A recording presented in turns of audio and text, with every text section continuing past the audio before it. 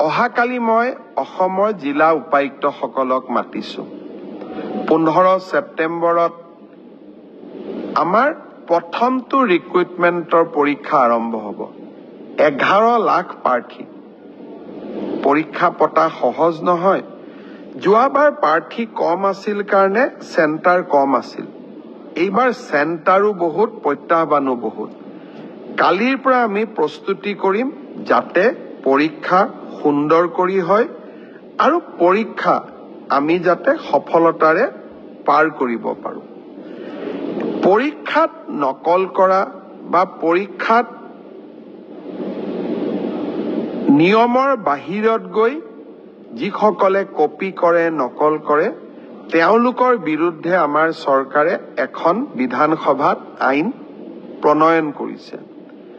ইয়াৰ ফলত পৰীক্ষাত নকল কৰা ব্যক্তিজনক গ্ৰেপ্তাৰ কৰাৰ উপৰিও তেওঁৰ ঘৰুৱা সম্পত্তিসমূহো চৰকাৰে অধিগ্ৰহণ কৰাৰ এক ডাঙৰ ক্লজ এই আইনকেইখনত আছে। দুই এদিনৰ ভিতৰতে আমি এই আইনখনৰ বিষয়েও বহুল প্ৰচাৰ কৰিম। মই আশা কৰিম মেধাৰ ভিত্তিত নিযুক্তি। বহুতে কয় মোৰ মেৰিট আছে কাৰণে মই চাকৰি পালো। বহুত এতিয়া ফেশ্বনো এটা আছে যে আমি বিজেপিক কিয় ভোট দিব লাগে? আমিতো মেৰিট আছে কাৰণে চাকৰি পালো। মই এটাই কথা ক'ম। মেৰিট আৰু মেৰিটৰ ভিত্তিত পৰীক্ষা পাতা। এই পংকিলতাৰে ভৰা সমাজত ইমান সহজ নহয়। এক প্ৰকাৰ অহা কালি পৰহিৰ পৰা আমাৰ অফিচাৰসকলে ৰাতিয়ে দিনে কাম কৰিব লাগিব যাতে পোন্ধৰ ছেপ্টেম্বৰৰ পৰীক্ষা নিকা হয়। কিন্তু মুখ্যমন্ত্ৰী বা আন মন্ত্ৰীসকলে যদি বিচাৰে পৰীক্ষা নিকা হ'ব নালাগে মোৰ মানুহে চাকৰি পাওক তেতিয়াহ'লে সকলো কথা সহজ। সোঁতৰ বিপৰীতে গৈ আমি কাম কৰিছো। পৰীক্ষা নিকা হওক আমাৰ মানুহে পাওক নাপাওক মেধাৰ ভিত্তিত চাকৰি হওক।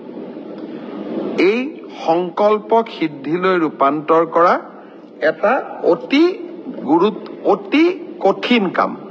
পোন্ধৰ ছেপ্টেম্বৰত আমি আকৌ এটা শিক্ষাৰ্থীসকলেও পৰীক্ষা দিব চৰকাৰেও এটা কঠিন পৰীক্ষাৰ সন্মুখীন হ'ব। মই আপোনালোকৰ সহায় সহযোগিতা বিচাৰিম। আমি কেইবাটাও টেলিফোন নম্বৰ দিম। কোনোবাই যদি কৰবাত কিবা এই ধৰণৰ বেআইনী ঘটনাৰ সুযোগ পায় নকল কৰাৰ ঘটনাৰ খবৰ পায় কিবা নকৰিবলগীয়া কাম কৰিব এনেকুৱা আগতীয়া খবৰ পায় আপোনালোকে যাতে আমাক জনাব পাৰে। পোন্ধৰ ছেপ্টেম্বৰৰ পৰীক্ষাটো চৰকাৰে নহয় অসমবাসীয়ে লগ লাগি আমি সুন্দৰ কৰি পালন কৰিব লাগিব।